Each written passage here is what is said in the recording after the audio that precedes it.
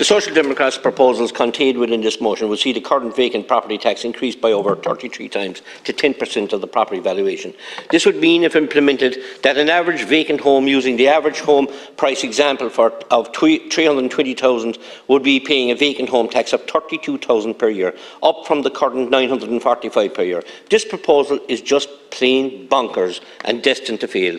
A vacant property tax falls uh, into the category of something that sounds good, something that will play well politically, but ultimately something that will deliver next to nothing. I would uh, uh, support a vacant council homes uh, motion that was put in, fr in, front of us, but don't get us wrong. It's galling to have so many empty homes in the midst of such chronic housing shortages, but vacancy is a complex phenomenon, uh, one that won't simply be magicked away by tax. Can you just imagine a person with an inherited home who want to do it up for a son or daughter, but may not have the funds to do so in a place like West Cork, having to pay the government almost the equivalent of a yearly industrial sal salary of 30,000 a year in a vacant home tax. Such a policy proposal is nothing more than a communist left-wing political point-scoring exercise.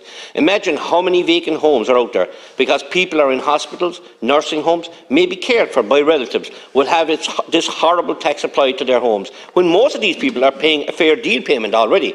Uh, today, the Social Democrats and the left wing uh, and the left will want to force people who have a, a, second home to start paying tens of thousands in tax. And tomorrow they will want to be uh, taxing people who have vacant homes in your house. We will not support this attack on hard-working homeowners and families who are struggling uh, to get by. What we would support, as I said, was uh, is, is, if a motion came forward to ease the planning restrictions on young people trying to start uh, building their homes in their own mother and father's property, which is almost impossible in my own constituency, leaving many people uh, houseless at this Thanks, stage. Deputy. So, and Thank void you. Uh, council houses also. Thank you, Deputy.